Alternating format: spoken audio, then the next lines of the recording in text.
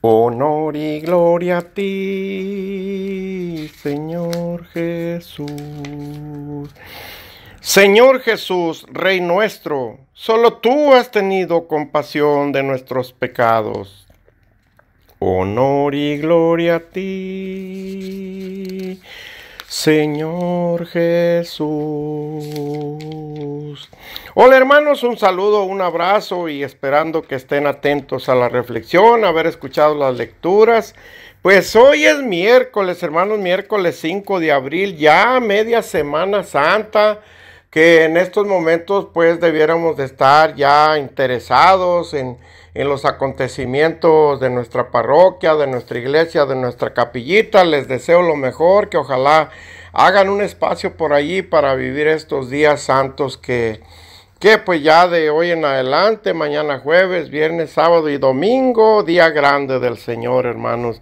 Ojalá hagan un espacio por allí para ir a celebrar, acompañar a, pues a nuestro párroco, a nuestra gente. Si estamos en un lugar fuera que fuimos de vacaciones, pues vayamos por allí, hermanos, preguntemos dónde está la iglesia más cercana para ir a vivir un poco de estos días. Pues eso es lo que yo les deseo, hermanos, para que las bendiciones de Dios sean muy grandes. Hoy, este día, vamos a tratar unos temas un poco difíciles, un poco dolorosos, como es la traición, la traición de Judas y, el beneficio, ¿por qué lo hizo? ¿Por qué hizo Judas eh, esto que entregó a Jesús? Para esto, hermanos, vamos viendo eh, en la historia cómo ya para estos días estaba el pueblo, la nación, todo, todo Israel, todo Roma, había gran tumulto, había muchos murmullos, había ya amenazas de muerte, ya todos los israelitas sabían que los, los maestros de la ley, los sumos sacerdotes, pues andaban muy enojados ya. Medio mundo sabía que querían matarlo, pero también medio mundo sabía todos los beneficios que había recibido de Jesús. Por eso vimos el domingo pasado cómo recibieron a Jesús toda aquella gente que le ponían este ramos, le tendían ramos o le alababan con los ramos de palma, le entendían sus sus este sus lo que ellos traían para cubrirse del frío lo tendían para que pasara el burrito. ¿Por qué? Porque lo consideraban rey, lo consideraban un gran personaje, lo consideraban el Hijo de Dios. Como les decía en ese momento en la reflexión, todos ellos sí entendían que Jesús era el Hijo de Dios. Pero entonces en la alcurnia de la iglesia y de los romanos, pues habría, había gran tumulto y gran amenaza porque pues Querían eliminar a, este personaje, querían eliminar a Jesús por el riesgo que conllevaba. Este, imaginemos un poquito, hermanos, la, la situación política, la situación de poder de los estos jefes de la iglesia, pues que se les iba a derrumbar todo, todo su teatro, se les iba a caer todas esas relaciones de poder que tenían con los romanos, estaban acomodados y tenían mucho miedo que los romanos, este, por culpa de este hombre, los romanos pues se alzaran contra ellos, los apresaran, los castigaran porque un hombre andaba alborotando al pueblo de Israel. Y pues el pueblo de Israel estaba subyugado por los romanos, entonces no les convenía una revuelta, no les convenía una, una guerrilla o qué sé yo, algo fuerte. Entonces todo estaba acomodado para que Jesús este, poderlo desaparecer, encarcelar y si se pudiera matarlo como lo hicieron. Entonces imaginemos un poquito la revuelta que había, hermanos. Y por eso en este día vamos a analizar un poquito, pues siendo miércoles, un poquito lo, lo de la traición de Judas y el beneficio que él, él pensaba tener. Para esto podemos ver, hermanos, en el Salmo, Salmo 68, unos, unos mil años antes de Jesucristo, el rey David, pues el rey David era músico, hermanos, era compositor, era danzante, era, no, era, era una persona eh, muy talentosa, llena de dones y agraciado, o sea, eh, Dios había puesto toda su gracia en David desde pequeñito que lo ungieron para, para que fuera rey de Israel. tenemos mil años antes y tenemos alrededor de 700 años antes también al profeta Isaías.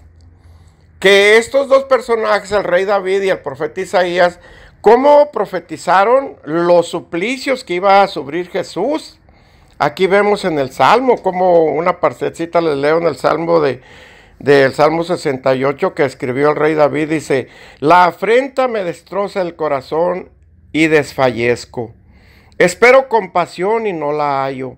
Busco quien me consuele y no lo encuentro. En mi comida me echaron hiel y para mi sed me dieron vinagre. ¿Por qué escribía esto el rey David, hermano, sin imaginarse? Pues era el Espíritu Santo que le inducía a componer estos versos y muchos más que hay en los salmos. Este, y, y sin embargo era lo que iba a sufrir Jesús.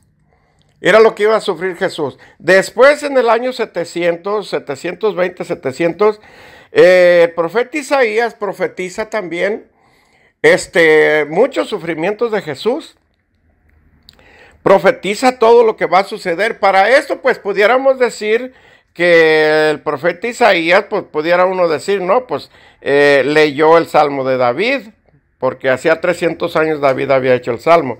Pero no, hermanos, por eso era un profeta. El profeta Isaías no solamente profetizó algo de su muerte, de lo que iba a padecer, de lo que iba a sufrir, de lo que lo iban a atormentar, y este, sino que profetizó su nacimiento, profetizó que iban a ser de una virgen, profetizó pues muchísimas cosas. Entonces le podemos dar crédito al profeta Isaías, que era un profeta de Dios.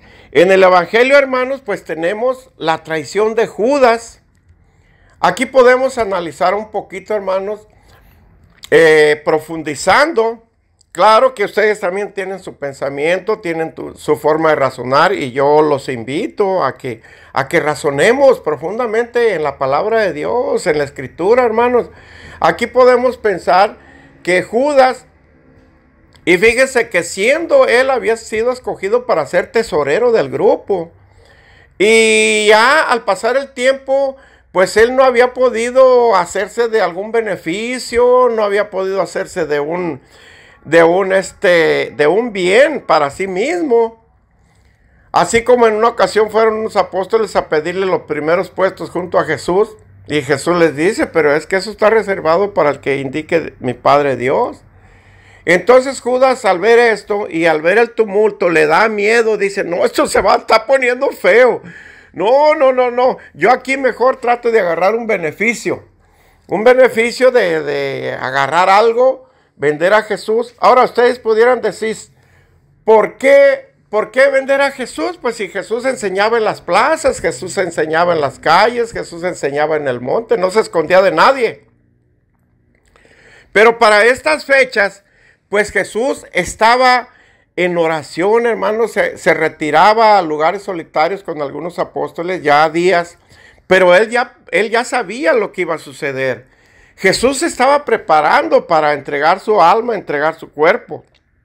Está como un deportista que se tiene que retirar de los vicios del mundo para dedicarse a, hacer ejercicio y prepararse para la pelea, para prepararse para el encuentro que va a tener en el deporte.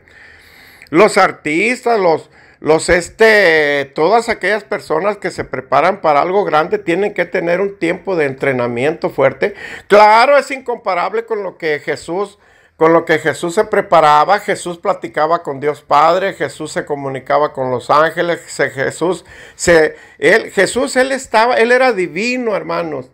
Pero de todas maneras, al saber el tumulto y en un momento dado, pues dice que hasta lloró sangre.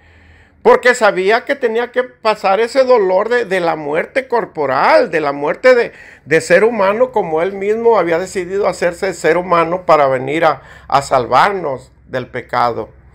Entonces, por eso Jesús también andaba en lugares ocultos, en los huertos, en las barrancas, en, en, los lugares donde él se estaba preparando espiritualmente para entregar su cuerpo.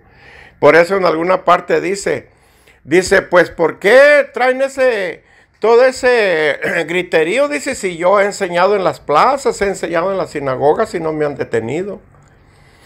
Pero es por eso, hermanos, porque el tumulto estaba muy fuerte, toda la gente estaba Quizás, pienso yo, quizás a lo mejor Jesús no, no quería escandalizar a sus seguidores.